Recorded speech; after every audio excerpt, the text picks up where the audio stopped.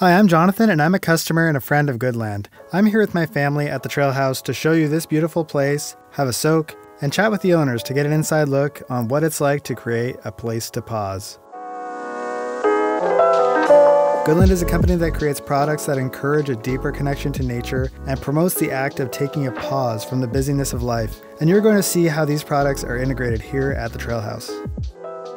The Trail House is a vacation rental on Bowen Island in British Columbia that has partnered with Goodland to elevate interactions with this place and to encourage the act of slowing down. This is Kendra and Craig. They're actually the creators of Goodland and have pioneered some great products to promote pause, and now they have created this place to pause. So we're going to get some great insight about the process of making and running a vacation rental just like this. Tell me about how this started. Yeah, we were living in Vancouver and we thought, oh, we should buy property and get a little weekend cottage type thing. And we found ourselves on Bowen Island and we found this beautiful lot. And we started thinking about weekend plans and building a little cabin. And then that sort of evolved into a family home and children. And, and now we've built this trail house so that we can have guests and friends and family and um, let other people enjoy our space as well.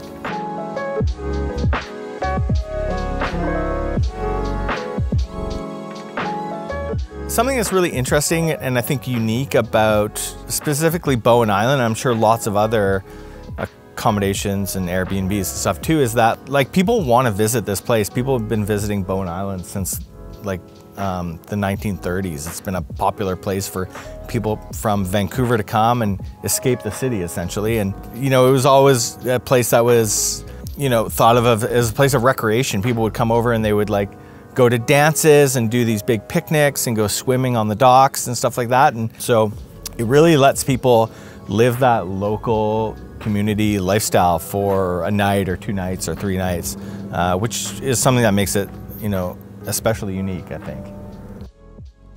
So did you design this space? Yeah, we had help from some local architect, but we definitely had really strong opinions on what we wanted to build and and what we wanted to, to feel like as well. We sort of, I guess we kind of call it like a modern cabin. So it's got all the comforts of home, but it still has a bit of a sort of modern cabin vibe. We wanted it to be, feel connected to the forest, but um, be clean and uncluttered and sort of help you to sort of escape um, the city life and your cluttered work mind and, and just really get into relaxing when you're here.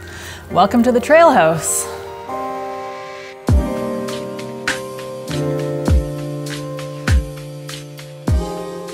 The accommodation is set up with an open concept living room and kitchen and a gas fireplace, some custom cabinetry and designer furniture. You can see that it's like perfectly set up to relax and take in the forest views.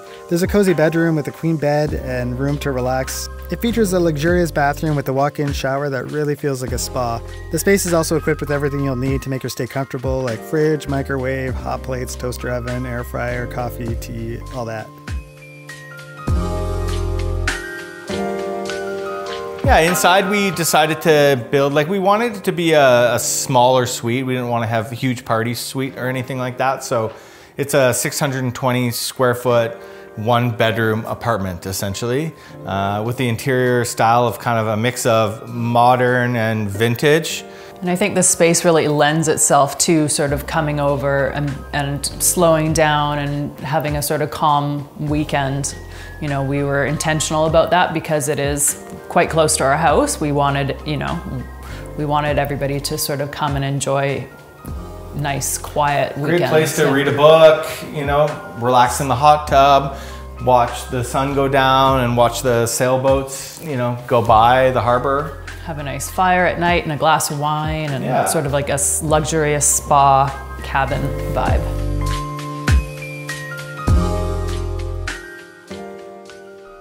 Yeah, let's talk a bit about the the challenges of building this place. Oh yeah, there was a couple for sure. Like you're up here. You're yeah, up exactly. Yeah, like we're up like Bowen Island is made like primarily of rocks with some forest on it, right? And and we're up a really steep section of the road. Like it actually is kind of notorious for being one of the steepest sections on Bowen. Um, that made it a challenge to get like the materials up here. Everything had to come up on like a four-wheel drive HIAB truck, or like little small delivery trucks. It was it was actually quite a challenge to get and to get really long things up here too. So as you can see, it's like raised up on, which is essentially a steel frame on one side. And one of our visions for that was that we really wanted to lift it up essentially so that A, we could get some added functionality of um, parking underneath and storage. But then also this allowed us to like spin the accommodation. So essentially they're back to back. So that we're not uh, interfering with each other's living space. So this has its own private living space that looks out into the private forest. We actually used to have an, uh, a little wall tent that was kind of lived right in this spot, but we would always come up and climb up onto this rock surface here, which is about like 10 feet up or so. And just imagine like this would be the perfect deck for a an Airbnb or short-term accommodation to have this out here where people can like soak in the wood-fired hot tub and like look out at the view here. And if you're lucky, like and it's a busy day, you can see lots of like sailboats and ships going by. It's like a really spectacular view. I would imagine a lot of people book this because of the tub. Yeah, absolutely. I think that most of the people booking here are coming for the, the hot tub and the sort of whole immersive experience that we've created here. It definitely adds value to our rental. So Kendra, you manage this rental yourself? Yeah, I do all the bookings and the cleanings and um, with that comes, you know, changing out the water for the hot tub, um, being a bit of a tour guide too. I love, you know, telling people what's where's good to eat and where's good to go and all that sort of fun stuff. So I've got one of these tubs and I love it, um, but I'm just wondering what it's like for guests that, you know, might not have used this before. Are there any challenges with that or? Well, we really try and set them up for success by preparing the first fire. Um, and there's the instruction plate here has all like sort of good instructions. There's a QR code that leads them to a video. So we sort of send that stuff before they even get here so that when they're on the ferry, they're watching the video, they're sort of preparing themselves. That's what makes the soak so rewarding, right? And, and it's all part of the experience of like slowing down, getting back to nature is chopping the wood, doing the fire, getting in and out. And especially in those like shoulder months, we find people like are really loving the tub. You know, Bowen Island in the summer is kind of more of a beach vibe place anyways, so it really gets the most use, use in those shoulder seasons, which is when, uh, you know, vacation rentals slow down anyway, so. I'd love to know how much something like this costs. Are you comfortable sharing some numbers or? Yeah, I mean, like being on the west coast of Canada is a really expensive place to do any building whatsoever. Um, and we were kind of building it during COVID, which also had like some inflated costs as well. Um, but overall, the whole build of the accommodation rental, like not including the property or anything, that was around 350,000 Canadian.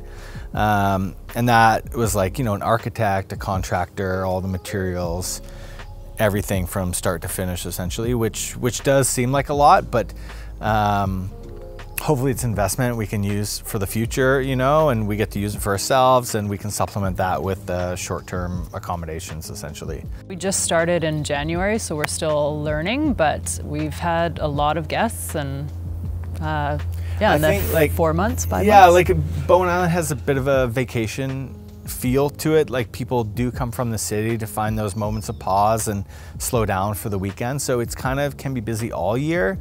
Um, and then we really felt like having, honestly, even though we're slightly biased, but having the hot tub really made it busy, like in the shoulder season.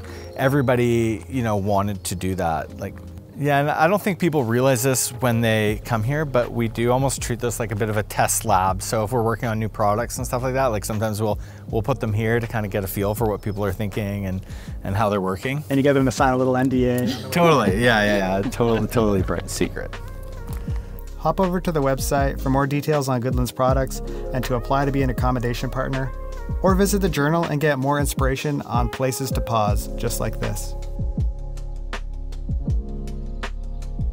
We had a fantastic time staying at your little slice of heaven and are counting down the days until we are lucky enough to return. This place has, was wonderful and we greatly enjoyed the wood burning hot tub.